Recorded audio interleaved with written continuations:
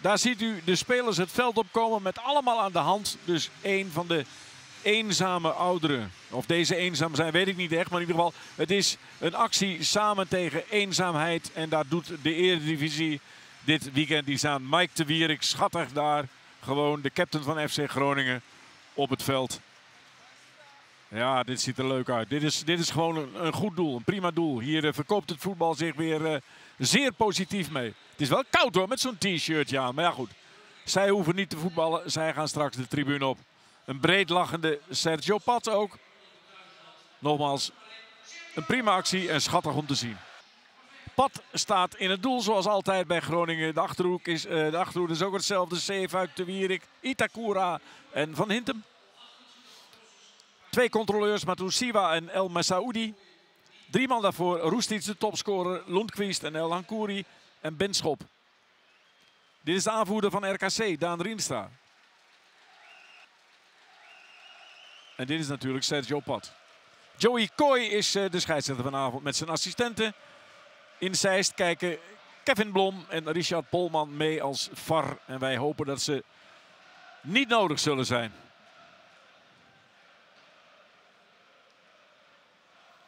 Vaassen de doelman van RKC. Met daarvoor Gary, Drost, Mulder en Delcroix. Het gewijzigde achterhoede met twee routiniers in het midden.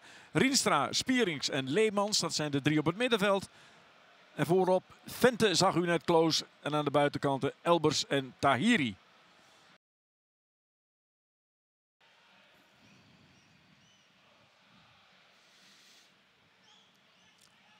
Leemans is de man die het spel moet maken. De passes moet geven. Onder andere op Vente. Dat is goed zeg. En dat is een kans hoor voor Elbers. Dat is een kans. Goede redding van Pat natuurlijk ook. Maar die kans heeft hij om zeep geholpen. Die had hij gewoon moeten maken. Elbers toch. Zomaar ineens stond hij helemaal vrij. Goede paas van Leemans en Vente. En daar. Elbers. Oei, oei, oei.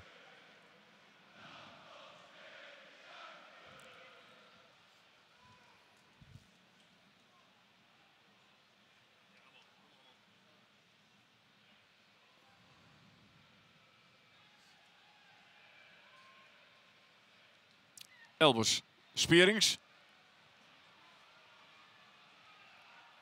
Dat is een beste kans. En weer een geweldige redding van uh, Pat. Een beste kans voor Vente. Dat zijn twee kansen voor uh, RKC. En twee keer Sergio Pat houdt Groningen op de been. Vente toch. Spierings. Vente van dichtbij en een geweldige reactie van Sergio Pat. Ja, die terecht boos is op zijn verdediging.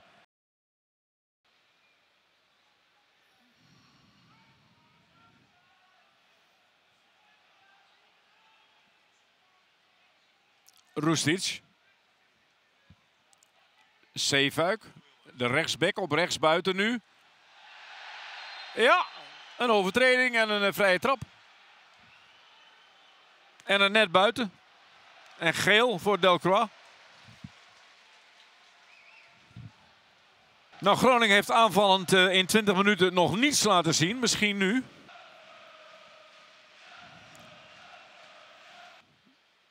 En Roestic die zich met de vrije trap mag uh, bezighouden.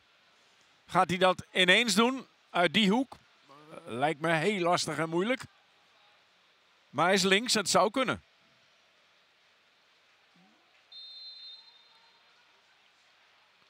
Hij doet het in één keer. En hij zit erin ook. Maar die had fase moeten hebben hoor. En Te Wierik, ja, de captain is blij, want echt Groningen heeft in 20 minuten nog niets laten zien. En komt dan verrassend op voorsprong.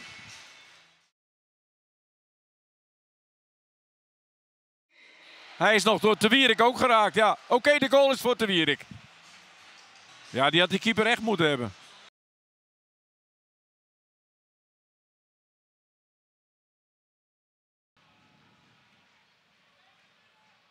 Drost.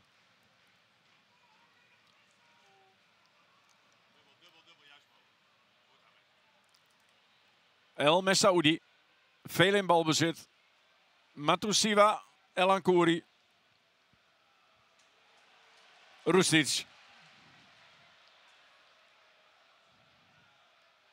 Benschop net niet.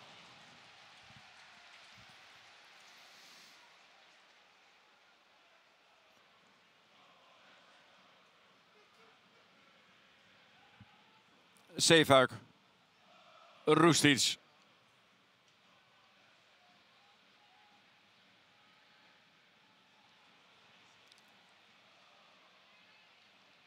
El Ankouri. El Masoudi.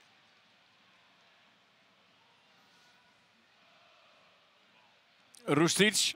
Wil hem voor zijn linker. Heeft hem voor zijn linker. Schot geblokt. Zeefuik dan in de herkansing. El Masoudi. Zeefuik. 2-0. Eindelijk Benschop. Groningen is wel effectief hoor. En wat is hij blij.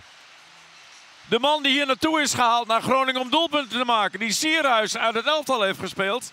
Scoort dan nu eindelijk en die hatelijke nul is weg. Een aanval waarin uh, Zeefuik een belangrijke rol speelt. Verdedigend zwak werk natuurlijk van uh, Delcroix. Zeefuik weer en dan, ja dat is een echte spitsengoal. Met het puntje van de schoen in de hoek geprikt. Een fijn paasje hoor van uh.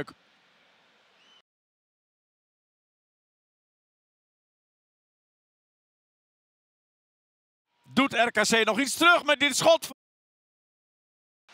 En weer een goede redding van eh, Sergio Pat. Laat eh, Joey Coy die hoekschop nog nemen, ik denk het wel. Weer een goede redding van die prima doelman van FC Groningen.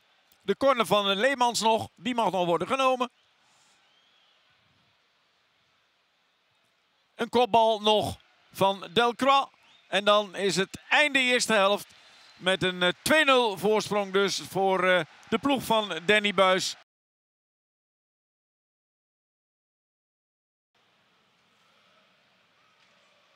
Itakura. Spierings. Vente. Rinsta. Elbers.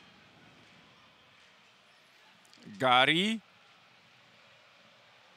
De kopbal van Tahiri.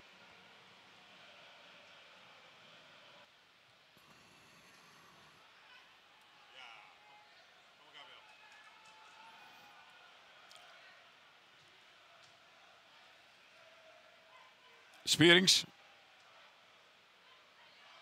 Gary Leemans.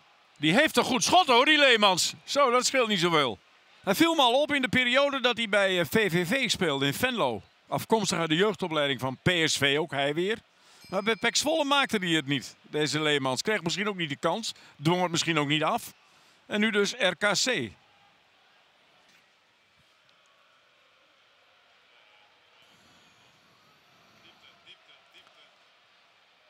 Zeefuik, Elan Kouri.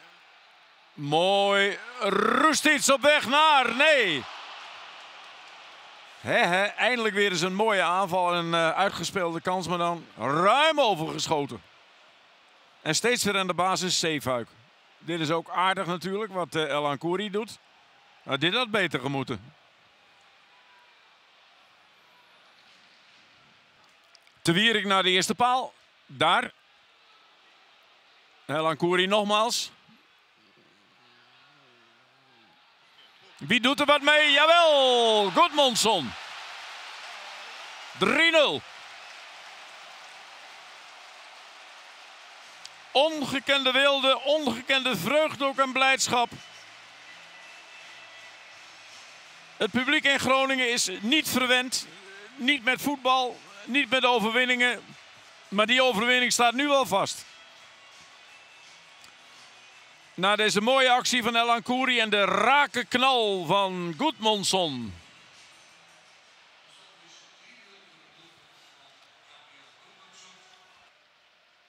Een tandeloze voorhoede, behalve dan de eerste 20 minuten. Twee goede kansen. En af en toe aardig, maar niet goed genoeg voor de Eredivisie. RKC, dat is de conclusie. Na weer een nederlaag de achtste. Slechts één keer een punt gehaald. In Enschede nog wel tegen Twente, 3-3. De beste wedstrijd van RKC.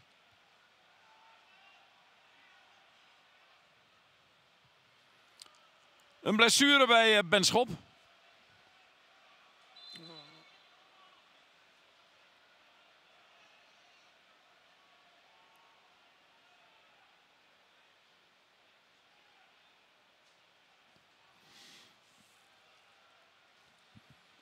Daniel van Kaam, een uh, jongeling, krijgt nog wat uh, speelminuten.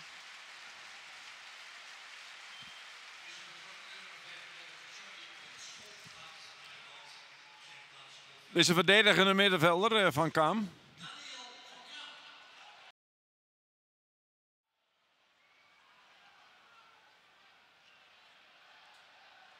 Van Kaam.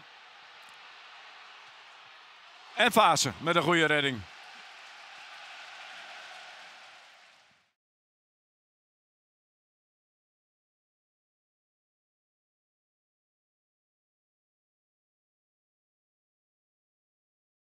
Goedmondson nog.